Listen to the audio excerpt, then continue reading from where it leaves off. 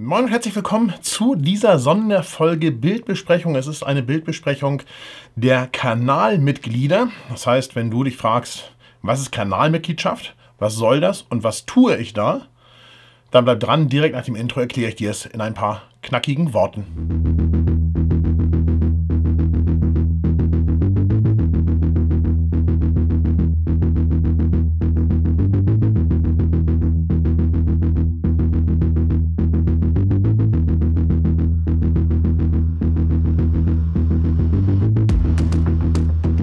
Es gibt hier auf YouTube auf unserem Kanal die Kanalmitgliedschaften. Gibt es in drei Stufen. Einmal ist eine Stufe, dass wenn wir Livestreams machen, was in letzter Zeit nicht so häufig vorgekommen ist, aber wieder vermehrt kommen, vorkommen wird, das kann ich schon mal sagen, ähm, dass du eigene Emojis hast. Dann gibt es eine Stufe, wo du einmal im Quartal ein Bild zur Bildbesprechung einschicken kannst.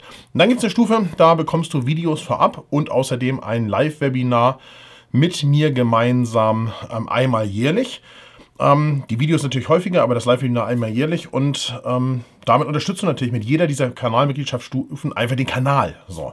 Und äh, ich versuche das natürlich auch zurückzugeben mit Vorabveröffentlichung von Videos für die höchste Kanalstufe und wir machen auch das Live-Webinar im Januar, Februar für 2021, also das zurückliegende Jahr im Prinzip.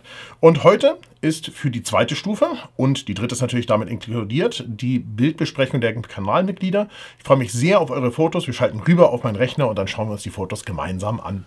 Los geht's mit einem Foto von Andreas Esser und der hat ähm, eine Rose fotografiert und zwar mit einer Vogtländer Bergheil äh, 9x12. Also das nehme ich den Bildtitel. Und ja, es sieht ja auch so ein bisschen analog aus, wenn wir mal ehrlich sein.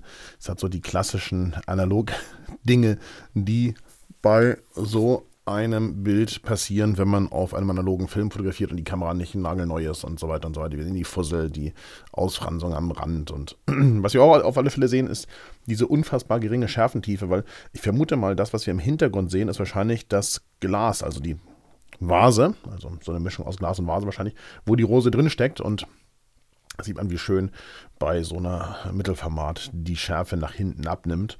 Das hat so seinen ganz eigenen Look. Aber insgesamt hat das Bild natürlich auch einen, ja, einen, einen Charme. Ne? Es ist gestalterisch nicht besonders doll, Andreas. Ich will dir nicht zu nahe treten, aber machen wir sich's vor. Es ist nicht doll fotografiert. Es, ja, wie soll ich sagen, der Hintergrund, ich weiß nicht, ob der unaufgeräumt ist oder was diese ganzen Streifen im Hintergrund sind oder ob die dem Entwicklungsprozess geschuldet sind, aber da ist halt einfach viel, viel los. Und auch wenn es unscharf ist, ist da viel los. Und ähm, die Rose ist auch sehr Richtung Mitte gequetscht. Ähm, aber vielleicht kannst du ein bisschen mehr dazu erzählen, wie die Aufnahmesituation war ähm, und wie du das fotografiert hast und, und was dir dabei gedacht hast, vielleicht auch. Axel Lange hat etwas fotografiert, was ich wirklich so gar nicht zuordnen kann. Also ich frage mich tatsächlich, Axel, was sehe ich hier eigentlich? Also wahrscheinlich hast du eine Mail geschickt, aber du weißt, die Mails liegen mir bei der Bildbesprechung nicht vor.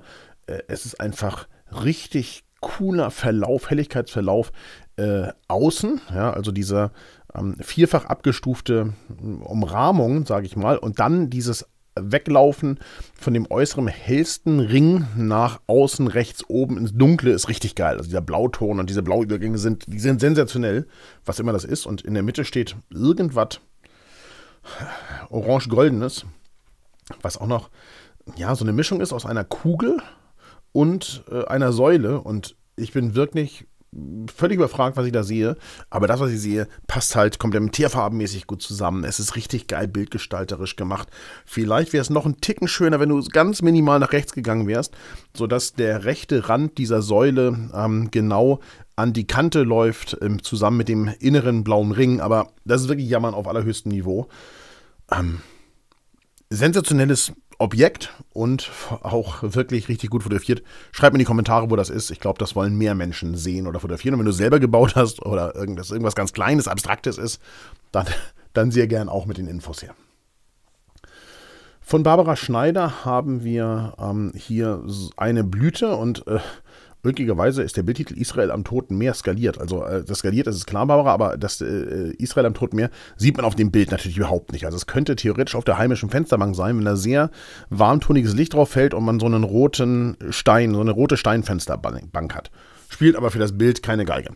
Äh, schöne geringe Schärfentiefe, ja, also einfach ähm, schön, dass die Schärfe so nach hinten wegläuft. Die Schärfentiefe ist im, das Bokeh im Hintergrund ist vielleicht so ein bisschen digital, ja, es ist so ein bisschen krisselig, so ein bisschen ungefällig. Ich glaube, das ist auch der Tatsache geschuldet, dass das mit einem, ähm, was haben wir denn hier? Wir haben hier ein 105er Objektiv, wahrscheinlich ein 105er Makro an einer 400D, wenn ich das richtig sehe. ähm, ja, das wirkt nach hinten so ein bisschen, so ein bisschen krisselig. Und ich hätte auf alle Fälle rechts deutlich, äh, links natürlich, links deutlich beschnitten, also auf der linken Seite einfach viel weggenommen, vielleicht ein Quadrat draus schneiden. Ja, dann kommt zwar die Blüte viel mehr in die Mitte, aber die ist hier der Hauptakteur und alles, was im dunklen Bereich auf der linken Seite ist, zusammen mit dem hellen Streifen, der da noch ist und dem Blatt, Blatt was da oben links in die Ecke läuft, äh, bringt das Bild nicht so richtig voran. Insofern, wir haben eine schöne Schärfe auf der Blüte, ähm, aber ich würde persönlich ähm, wahrscheinlich den gesamten linken Bereich einfach wegschneiden. Beate Scheffler hat eine Straßenfegerin in äh, Kutaisi fotografiert, also in Georgien. Ähm, auch die Straßenfegerin, du wirst nicht glauben, Beate habe ich nicht gesehen. Also jedenfalls ist es mir nicht bewusst gewesen, ähm, dass sie irgendwie die Straße gefegt hat. Ist egal, also ähm, Ganz guter Bildaufbau in diesem Fall. Ja, also besonders hinten mit dem Gebäude und dem, dem Schaufenster, was sehr schön ausgerichtet ist. Obwohl die Gebäude insgesamt ja nach äh, und das ganze Bild ja nach rechts zu kippen scheint, ist es da einigermaßen ausgerichtet. Du könntest vielleicht auch nachträglich noch die Linie ein bisschen gerade ziehen im Hintergrund. Ähm, hier vorne im Vordergrund dieses äh, platt gepflasterte oder dieses gemusterte Pflaster. So muss richtig. Und dann die Dame, die da die Straße reinigt. Ja, äh, schön fotografiert, gute Szenerie, vielleicht ein bisschen schade, dass der Mercedes nur ausgerechnet in einem Hintergrund durch sie durchfährt, äh, rein visuell, aber sonst ganz gutes Foto. Und das ist eine Doppelbelichtung von Beate. Ähm, ja, das ist eine Doppelbelichtung, also einfach äh, verschwenkt, also vielleicht ein bisschen gezoomt, ja, ein kleines bisschen, genau, ein kleines bisschen gezoomt und dazu noch ein ganz kleines bisschen geschwenkt. Ähm, ja, würde ich unter Spielerei verbuchen, muss ich ehrlich sagen, weil mir die insgesamt die die Bildgestaltung zu unaufgeräumt ist. Ja? Also warum ist das alles so in der Mitte? Also was soll das da? Also ähm, ich habe hier gerade mal geguckt, wo man wegschneiden könnte. Meiner Meinung nach oben, also einen Großteil des Himmels wegschneiden, sodass der Himmel oben noch vielleicht äh, 15% des Bildschirms äh, ähm, füllt. Das würde locker reichen, dann bist du in einem sehr viel breiteren Format und das Bild würde viel gefälliger wirken, wirken als so.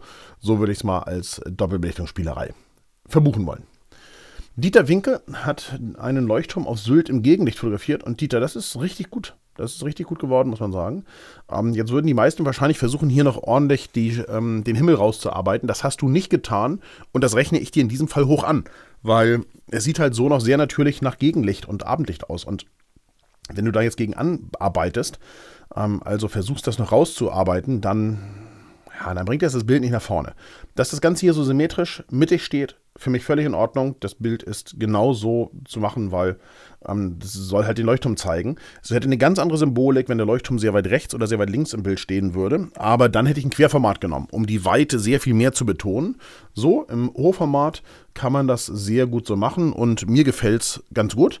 Ähm, wenn ihr euch mal ein Video wünscht zum Thema wann Hoch- Querformat, dann schreibt es gerne in die Kommentare. Äh, dann nehme ich damit mal zur Stellung, weil ich mache selber auch sehr wenig Hochformat-Fotos, aber es gibt natürlich manchmal gute Gründe, ein Hochformat zu machen.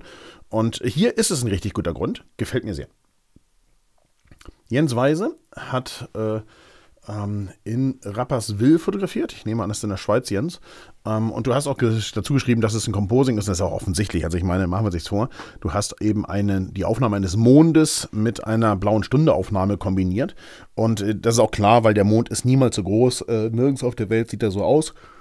Und wenn der so aussieht, dann sage ich mal, dann ist das Wasser hier aus diesem Becken schon rausgelutscht aufgrund der Gravitation. Aber wie auch immer, eine sehr schöne blaue Stundeaufnahme und eine sehr schöne Einzelaufnahme des Mondes. Das wollen wir erstmal festhalten. Also eine gute blaue Stundeaufnahme, die äh, gut gemacht ist. Äh, hier rechts am Bildrand ähm, dieses Ufer, was da quasi den, das Bild abschließt, finde ich sehr, sehr gut. Da könntest du vielleicht das kleine Schild, was da so weiß rein, reinlugt, äh, kurz oberhalb der, unterhalb der Häuserfassade noch wegstempeln.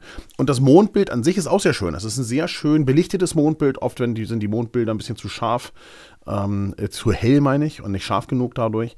Ähm, oder wegen Bewegung unscharf, das ist hier auch ein gutes Mondfoto. So, beide Bilder also ganz gut. Das Composing an sich. Ja, das übertrieben ist es allen klar, deswegen, das verbuche ich mal als Absicht jetzt. Äh, und äh, dann kommt aber das Thema ähm, das Thema, wie ist das mit der Spiegelung und wie ist das äh, mit dem Mond. Also der Mond ist an einer ganz guten Stelle da oben bei den Türmen, kann man so lassen.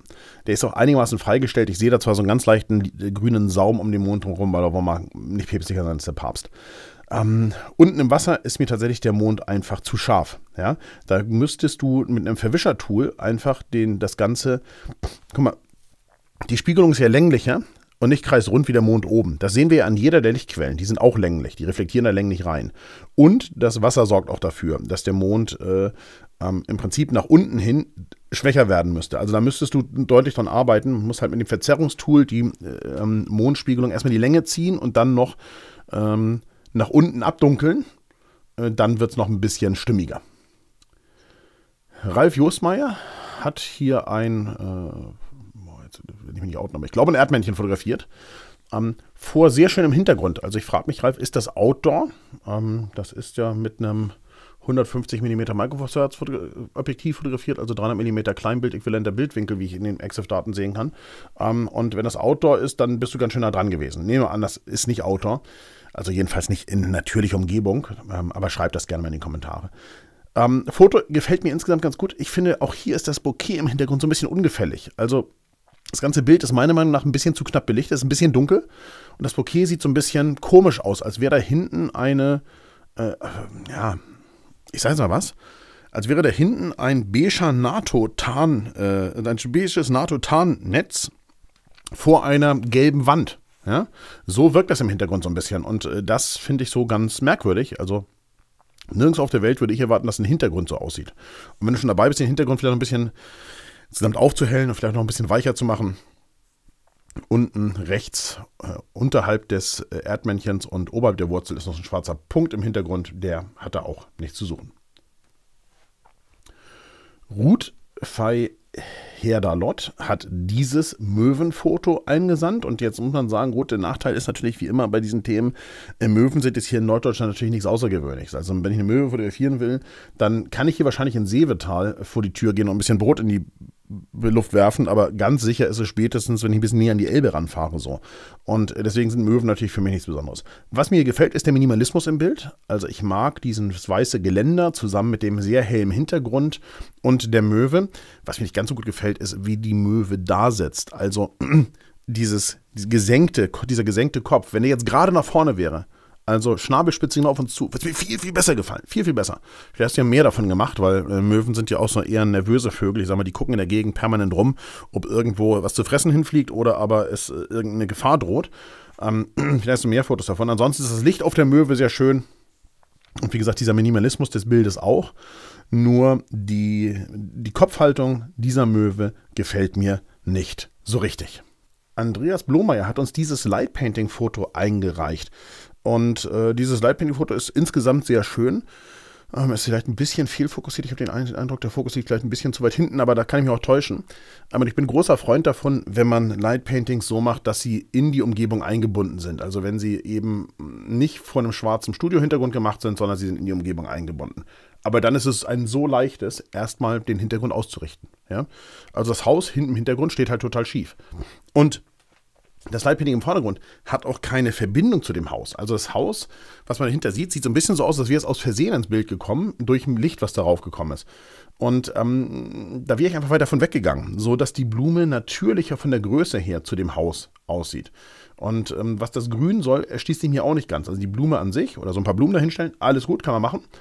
Ähm, aber sauberer arbeiten. Hintergrund gerade ausrichten, dann mit dem Objekten auf eine Größe gehen, also so weit weg sein mit der Blume, dass sie ein bisschen passen zu dem Hintergrund und dann den Hintergrund sauber ausleuchten. Also richtig schön mit ins Bild integrieren, sodass die Blumen im Vordergrund stehen, das Haus im Hintergrund. Da solltest du weiter dran üben. Das sieht richtig gut aus, wenn du das nochmal so ein bisschen perfektionierst. Da würde ich mich sehr, sehr freuen, mehr davon zu sehen. Nach wie vor senden viele von euch einfach keine Fotos ein und das ist sehr, sehr schade, denn das ist einfach eine gute Gelegenheit, fotografisch voranzukommen und vor allem schnell dran zu sein, denn ihr wisst es, manchmal dauert es Monate, oft sogar noch länger, wenn ihr auf dem normalen Weg für die Bildbesprechung Bilder einsendet. Und hier könnt ihr quasi so ein Mittelding wählen zwischen Fastlane und es dauert ewig, ähm, indem ihr nämlich einfach als Kanalmitglied Bilder einsenden könnt. Ich würde mich freuen, wenn sich da noch mehr finden würden, die den Kanal unterstützen mit dieser Art von Kanalmitgliedschaft und Unterstützungsmöglichkeit und wünsche euch jetzt eine gute Zeit. Geht raus fotografieren und immer schöner denken. Wir zwei, wir sehen uns wieder und vor allem wünsche ich euch ein frohes Weihnachtsfest. Macht es gut und auf bald. Tschüss, tschüss.